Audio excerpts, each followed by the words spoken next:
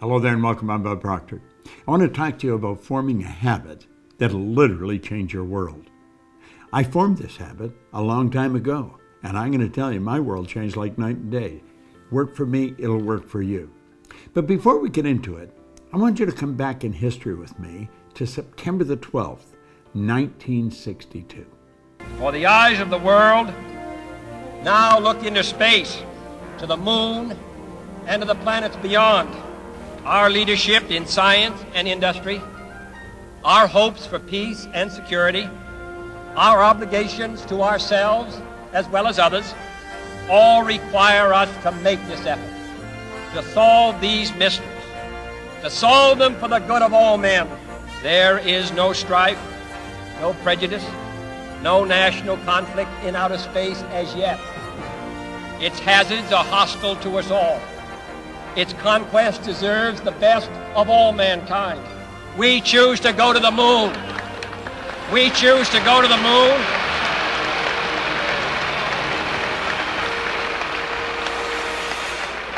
We choose to go to the moon in this decade and do the other things, not because they are easy, but because they are hard.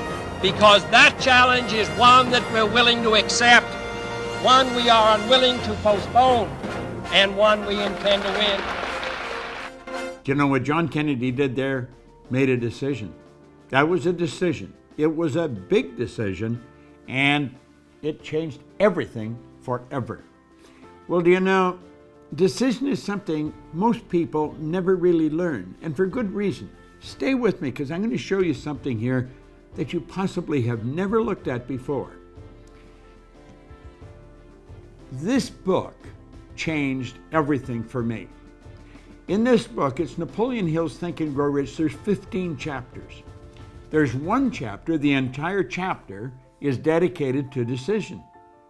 Now, you may say, well, I make decisions. Do you really? You may make little ones, but you make the real important ones.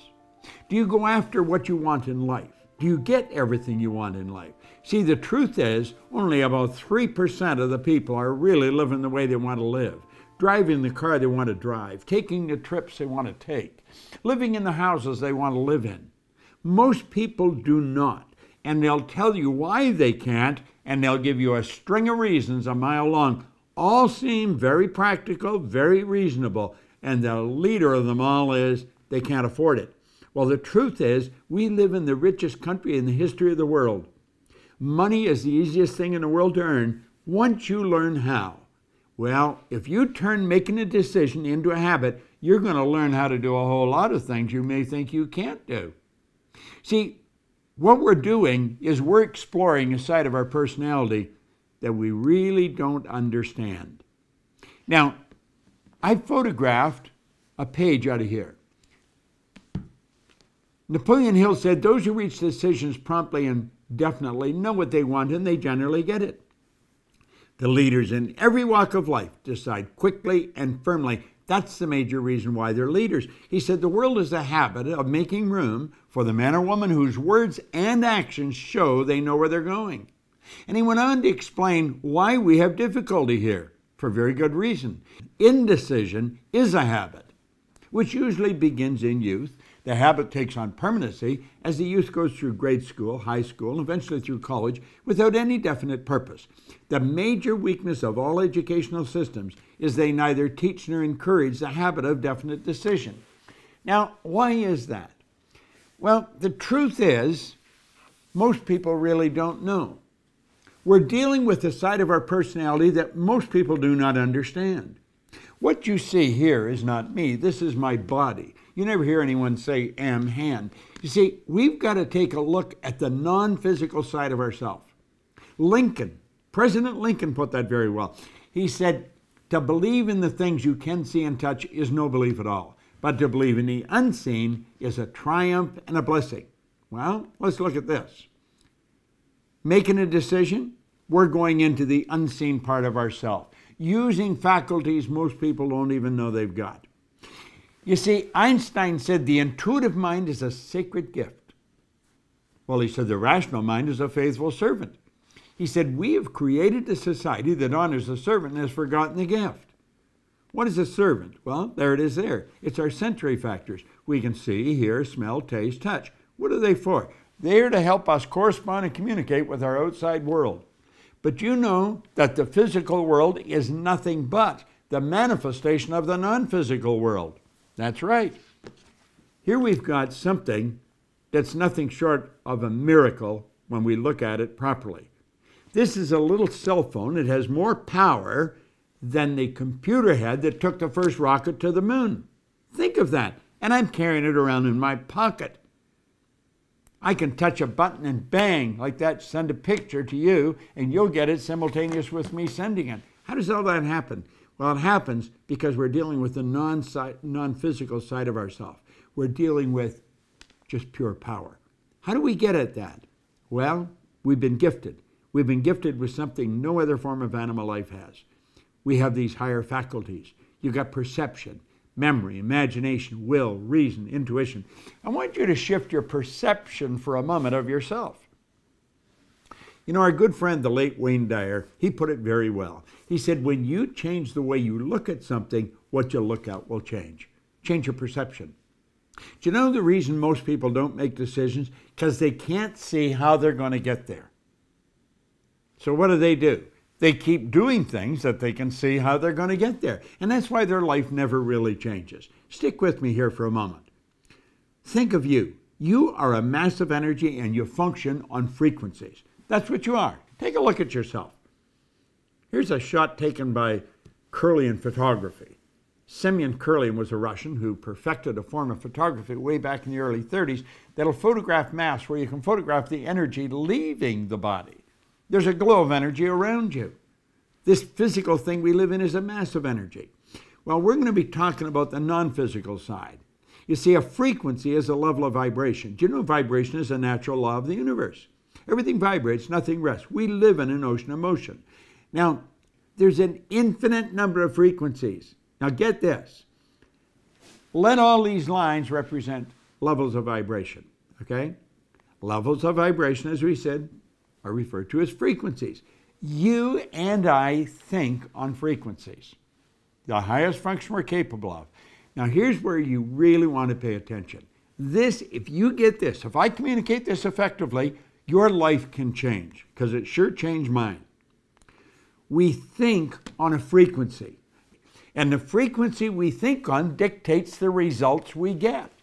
So we're sitting here and they say, These are my results but this is where I really want to go, and we point to a star. Somebody said, What do you really want? I really want to be wealthy. Do you know that most people never live the way they really want to live? They don't. They never earn the amount of money they can. They don't live in the house they really want to live in. They don't take the vacations they really want to take. Why? Because they don't know how. You see, when they set those targets, they look off into a space and they see nothing. Now, look here for a moment. These lines represent levels of frequency, or you could say levels of awareness. But when we set the target way up there, it's all gone. We don't know how to get there. Think of that. Think of what Steve Jobs says. You cannot connect the dots looking forward. You can only connect them looking backwards. So you have to trust that the dots are going to connect as you go ahead. Now that's pretty big. If you're going to look at the unseen, you have to use the higher faculties. That's what Einstein talked about the sacred gift. We can use faculties to look into the future. We can go into the future with our imagination and see ourselves where we want to be a year from now, and then bring that into the present and begin acting like the person we want to become.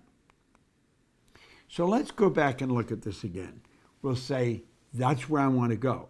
And I'm going to get there. Now, we do make decisions, but then we say, mm, not going to start yet. I'm going to do that as soon as I get the money. I talked to a young couple. In fact, I wrote about them in a book, Pat and John.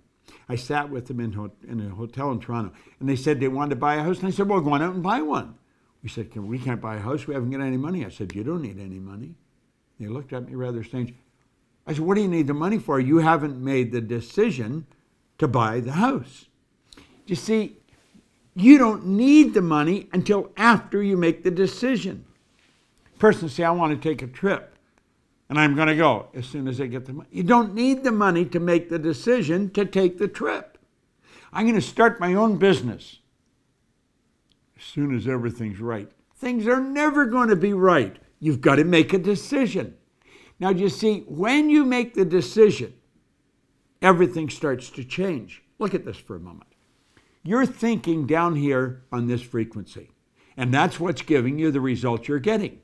If you want to go where you say you want to go, you've got to get on that frequency. You see, the truth is, you're not thinking about getting there, you're letting the present results repeat, and that's the star you're shooting at.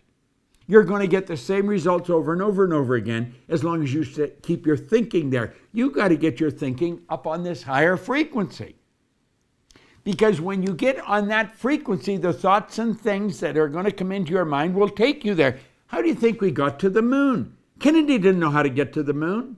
When he asked Dr. Wernher von Braun, who's considered the father of the space program, what will it take for us to build a rocket, carry a man to the moon, he, and bring him back safely to Earth? He said, the will to do it.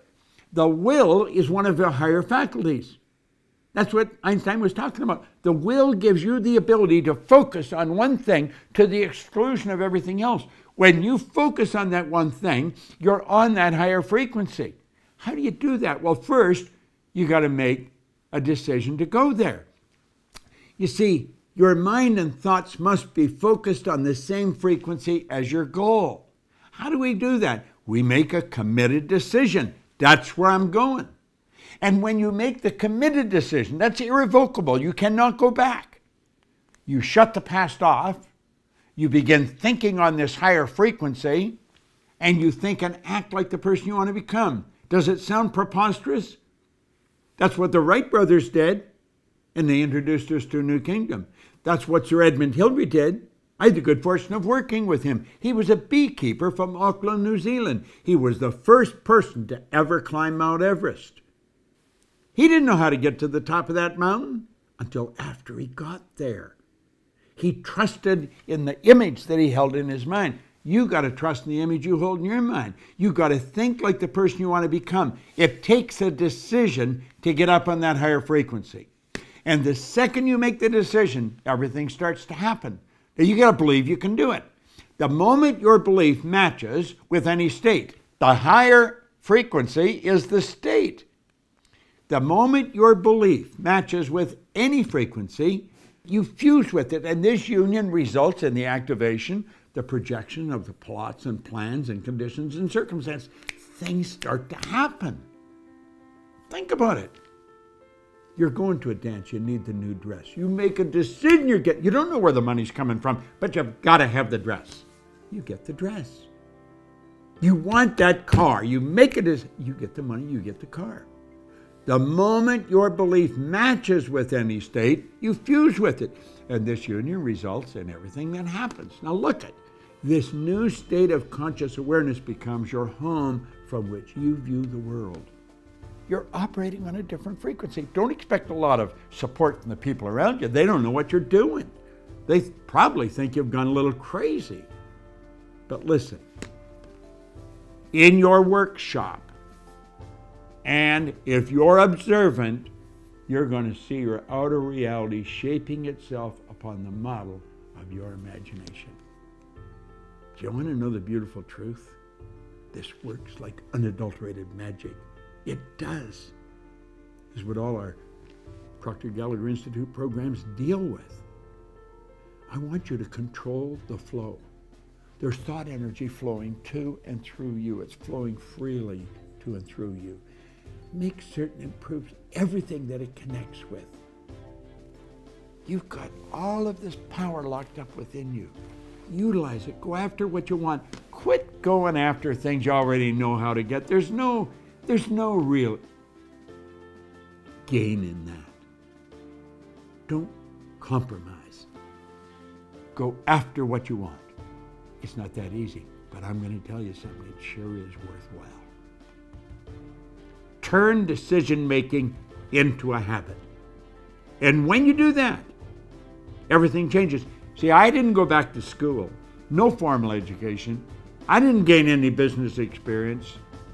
I made a decision and bang, away I went. And everything started to fall into place. I opened offices in different countries, in different cities. Earned all kinds of money. I had money coming to me while I was sleeping, and so can you. In fact, you turn this into a decision, you can earn more money when you're sleeping than you'll spend when you're awake. Decision, it'll change your world.